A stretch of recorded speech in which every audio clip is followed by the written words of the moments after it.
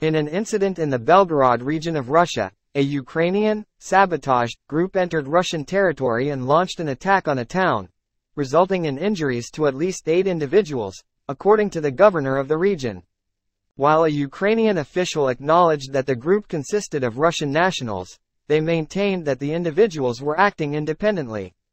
Meanwhile, Ukraine asserted that it still retains control over a portion of Bakhmut, despite claims from Russian private military group Wagner and Moscow officials that they had seized the eastern city.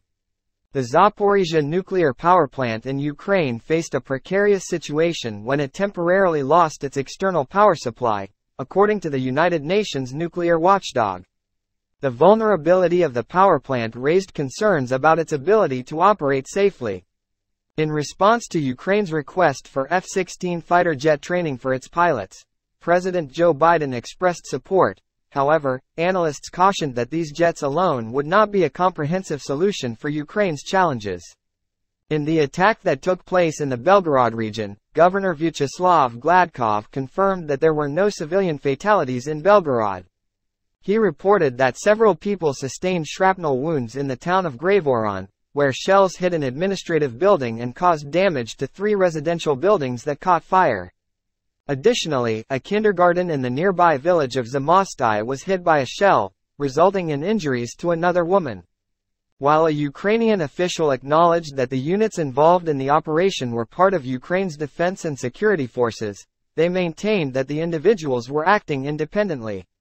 Andriy Yusov, a representative of Ukraine's Defense Intelligence Agency, confirmed that the operation was carried out by Russian citizens. The incident highlights the ongoing tensions between Ukraine and Russia, with cross-border attacks and territorial disputes exacerbating the already fragile situation. Both sides continue to assert their positions, with Ukraine emphasizing its independence from Russian influence and Russia asserting its authority in the region. The situation surrounding the Zaporizhzhia nuclear power plant further raises concerns about the potential risks and consequences of these escalating conflicts. The international community closely monitors the developments in Ukraine and Russia, calling for a peaceful resolution.